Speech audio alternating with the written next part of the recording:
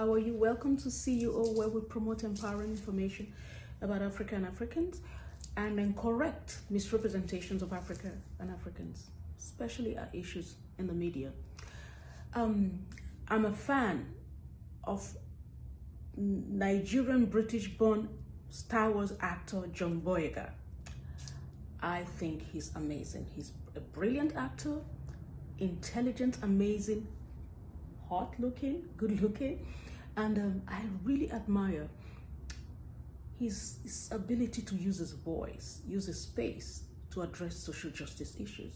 You know, there are many professionals in the entertainment world, many black and African entertainers who would not speak up on critical issues because they think it might affect the ability to reach out to more fans. Not John Boyega. he stands up, he speaks up for social justice.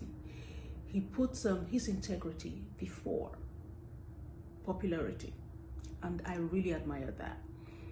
He recently retired, recently, sorry, resigned, he's too young to retire. He recently resigned as the global ambassador for the for the perfume line um, Jo Malone. Most of us, we all love Jo Malone. I have a few in my closet. I've always had Jo Malone, you know, for many years. I still think they make great perfume, but they made a big mistake recently. Um, John Boyega, you know, created a script, shot the script in Peckham in London, to promote Jo Malone. We all were excited about it. We thought, yeah, we've been buying this brand for years and we're glad. It's it's it's um, representing the diversity of people who, who use it, you know.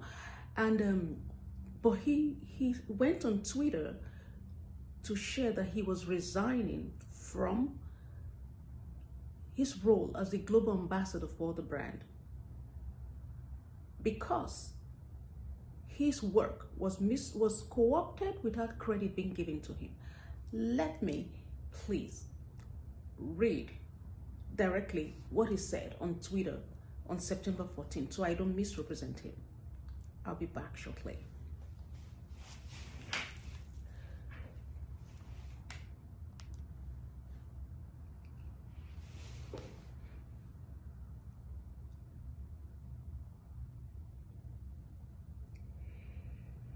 Now, this is what he said on September 14th in his Twitter account.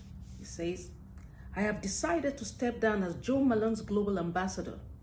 When I joined the brand as their first male global ambassador last year, I created the, sh the short film we used to launch the campaign.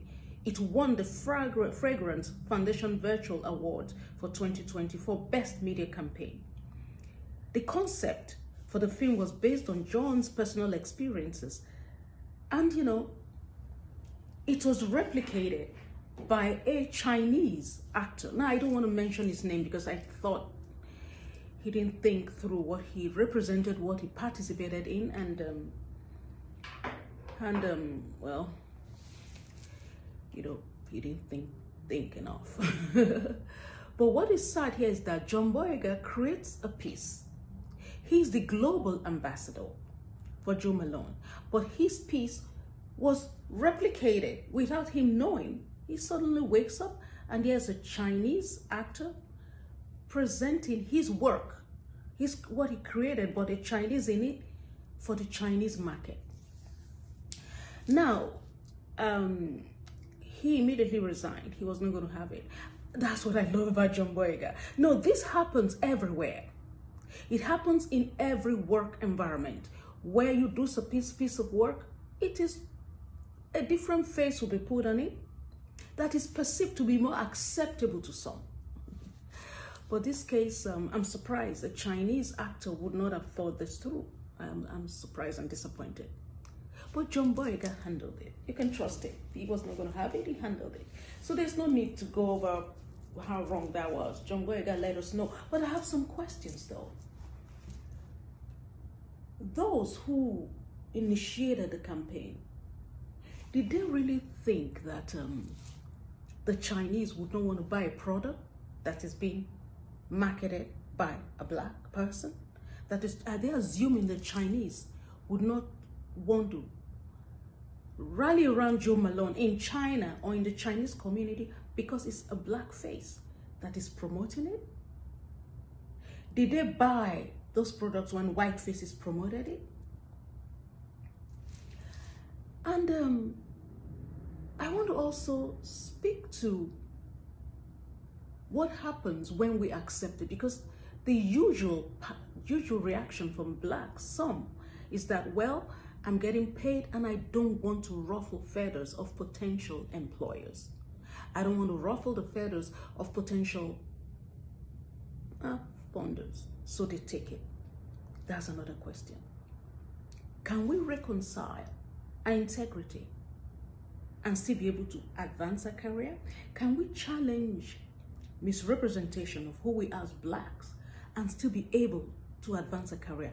Do we have to settle and accept some little measures of um, abuse, cultural abuse, cultural manipulation and misappropriation to survive in the in the creative and the employment world? What would it take to still be able to advance a career and while challenging what is wrong, while challenging racism, while challenging cultural abuse, while challenging cultural misappropriation. All Boyega is asking is that if I am the global face for this product, I deserve to know, be consulted with before actions like this and decisions like this are taken. Then to my fellow people of color, what's your role? What's your role? How do you see what's happening? What's your role? How do we ensure that we're not used to undermine others? Why?